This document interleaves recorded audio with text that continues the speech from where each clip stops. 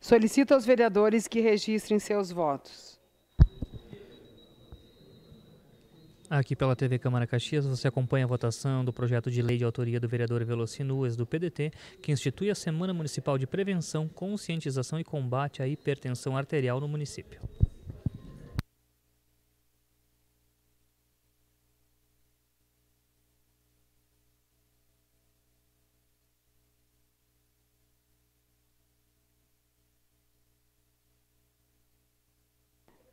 Encerrado o registro dos votos. Vereador Edson vota favorável. Encerrada a votação.